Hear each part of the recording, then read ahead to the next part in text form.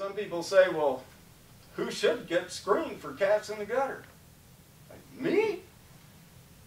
Well, we would argue virtually me for everybody because we have lots of red flags, things that are associated with increased risk of heart attack and stroke.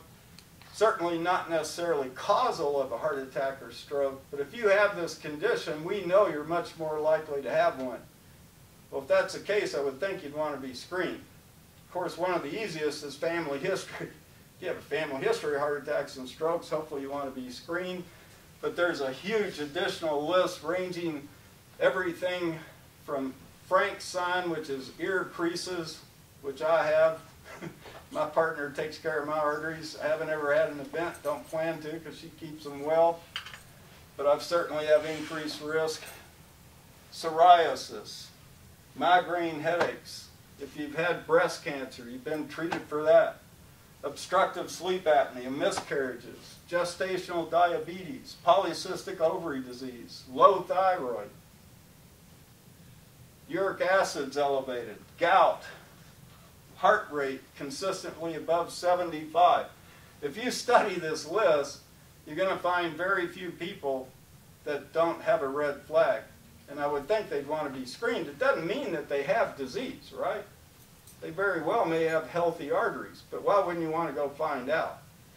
And the list keeps growing for these red flags. These are ones we just added this year. Asthma, you know anybody with asthma? They have a higher risk of heart attack and stroke over time. Divorce. Know anybody who's divorced? the gout, gallstones. Know anybody who's had gallstones? Working too long. Post-traumatic stress disorder. Hodgkin's disease. Even if you were treated successfully, we now know those individuals have a very high risk for heart attacks later in life. So we would argue it's hard to find somebody who really shouldn't want to be screened to at least see, hey, do I have a cat in the gutter? Does it look like one's headed my way? It doesn't cost much, it's easy to do. And we've got those tests. It only takes a few blood tests and a few urine tests, and they're not expensive. But I can tell you they're not being utilized.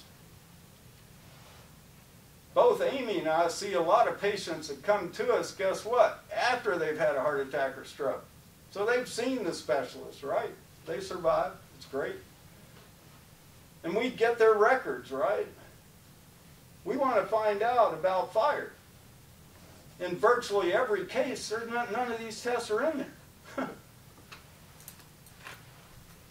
because so many providers are still cholesterol centric. It's inflammation. These are the most important tests a person can know. Is your artery on fire or not? This is dangerous disease. It's usually not very calcified. The tennis court's on fire. It could cause an event any second. This is calcified cooled off, it has to cool off some. So calcium is not necessarily bad. It can be a sign of healing, scarring. So how are we going to put that fire out? It's pretty simple. Have to find the root cause, apply the proper remedy. That's the way of the wise. And it's not that tough. So we had our cartoonist create an image for us, which is, I think is fantastic. The trunk of the tree is the fire. It's inflammation. And it grows arterial disease and causes heart attacks and strokes. What can fire up the trunk of the tree? Look at all the root causes. There are numerous root causes, and they interconnect with each other. They're not isolated. Like periodontal disease which is here. Well, it's associated, guess what, with insulin resistance and diabetes. It's also associated with genetics, also associated with lifestyle, etc. But periodontal disease certainly is one of many roots that can fire up the artery. Endodontic disease can fire up the artery. Obstructive sleep apnea can fire up the artery, low vitamin D, prediabetes, certain gut and the bacteria, the gut microbiota can lead to disease and drive insulin resistance. Nicotine, everybody knows, of course, nicotine's bad. Doesn't matter whether you smoke it or chew it or vapor it. It's bad. It can inflame the arteries. Cholesterol is here.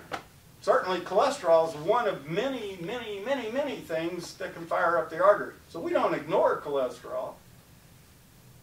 But if that's the only thing you go attack, and most patients have some of this other stuff going on, yeah, you fix them, they had a heart attack, you clobber their cholesterol, and a bunch of them will be back needing another stent because you didn't address the other reasons they had the fire, and it smolders on.